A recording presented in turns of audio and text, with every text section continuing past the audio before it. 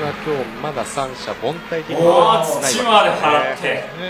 ジェントルマンですね。やり抜いて凡退的にはないわけですからね。そうですね痛そうですが紳士的な対応でした柳田。ツーアウトランナーなしから森ヒット鈴木大地がマウンドに来ました、大地さんも大学時代からあれですからね、1年生でもう全ボコボコに打たれた練習試合の後にで今まだ1年生。さっき見て？すごい。覚えてますね。キャプテンシーが素晴らしいですかそうら、ね、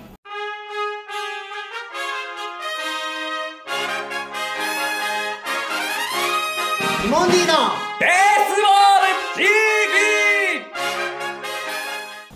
ティモンディのベースボール TV!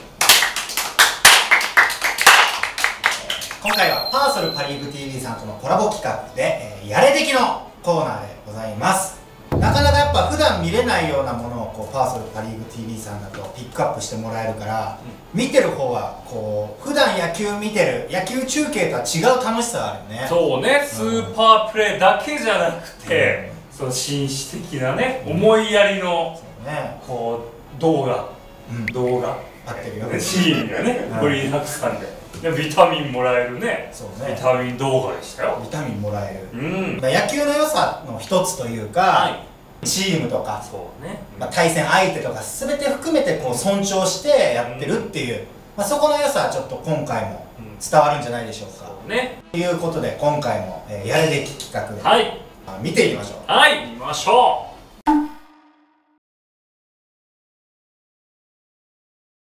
ファイターズの近藤選手がファールボールを追いかけて戻ってきた柿沼選手にマスクを渡すシーンです。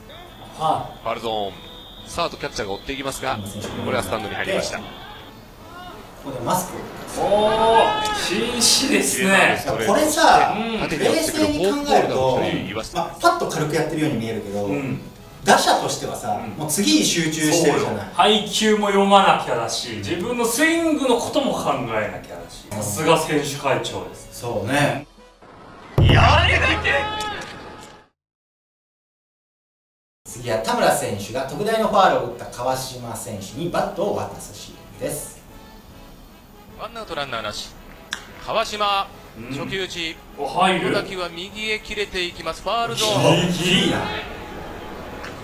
うーん素晴らしい。シーンキャッチャーとしては冷や汗かいてるはずなんだけどね。ね。余裕あったね。うん。やっぱ見てても気持ちいいからねそうね。今のプレー何よりもお客さん側として見ててやっぱ野球いいなと思える。うん。これ素晴らしい行動ですね。やて次はディクソン選手がヒットを打った後ボールボーイさんとグータッチをしたシーン。テイクカウント。おーナイスバッティング左中間の真ん中割っていくやはりこうボール先行する中で、そうですね。はい。素晴らしい。これボールボーイも嬉しいよこねれちょっと思い出になるね。そうね。ボールボーイもチームの一員なんだっていうね、うん。気持ちが感じられるよね。そうね、うん。一緒に喜んでるっていう姿やっぱちょっと見てて感動します。いいですね。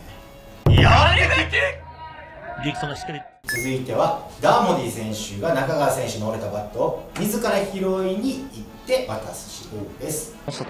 全体的にはよく投げてくれていると思いますと、はい、ショートフライでワンアウトです。まあ、ボールの低めに集まってきます結構離れたところコツコツ当ててくるので優しいなダーモディさんってほしいというふうに西口コーチはちなみにダーモディさんは、えーこっちに来た時に「やればできる!」って言ってくれてた記者会見でね言ってくださってましたね。やればできる。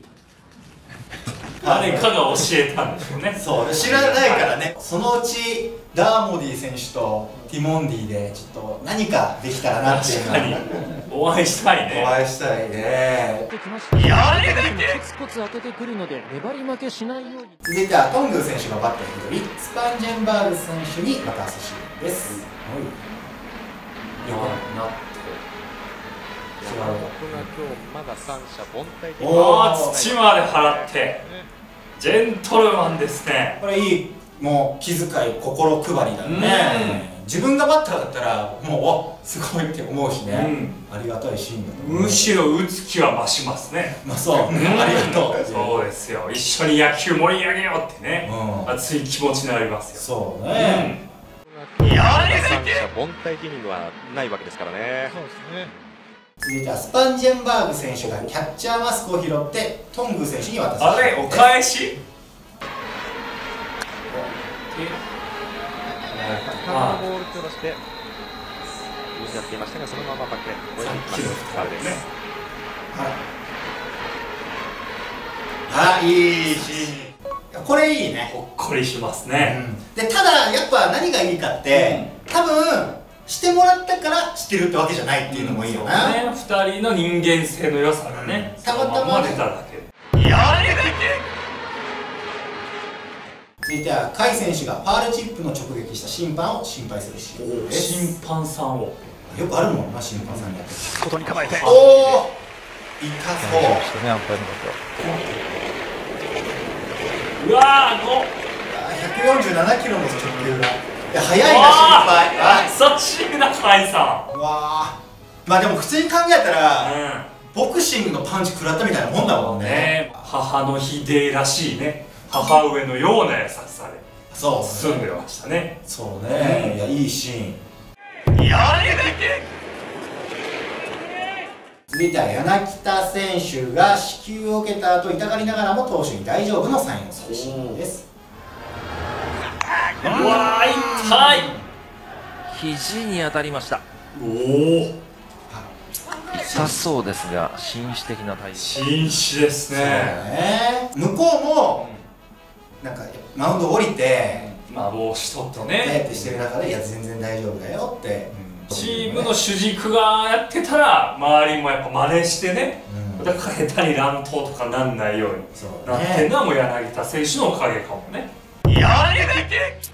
痛そうですが紳士的な対応。続いては森選手がピンチを迎えて間を嫌うニール選手に自ら声をかけに行くシーンです最近はランナー出してこの4番の島内が返すというシーンが非常に多くなっています。でこのタイミングでピッチャーの森がニールのこれところにましたチャーとしいいよねそうね冷静になれるか感じなのねか。投げやすいでしょ高岸ね、まあ、みんなバックついてるなっていうね、あそこも安心感ありますよね。ファインプレーですね。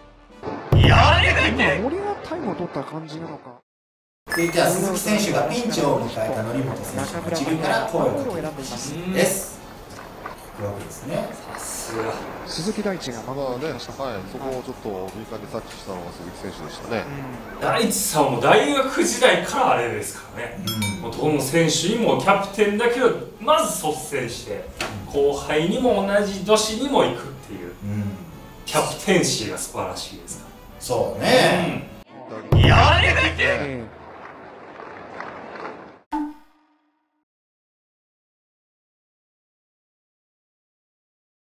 1年生でもう全ボコボコに打たれた練習試合の後にあもう絶対落ち込む時間がもったいないからって。で今まだ1年生。さっき見て自分らしく頑張れって言われたのすごい覚えてますね。レギュラーでもない1年生に向こうから来てくださった。当時4年生のキャプテンですからね。その監督さんも40数年の監督生活で一番のキャプテンシーだっていう。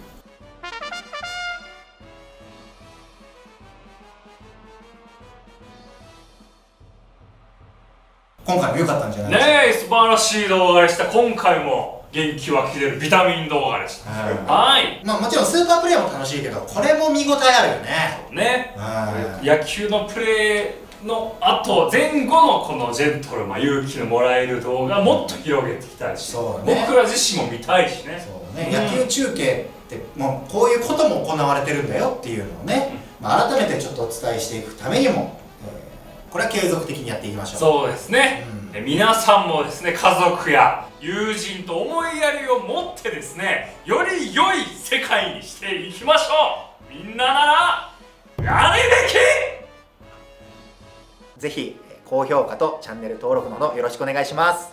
みんなならやればできる。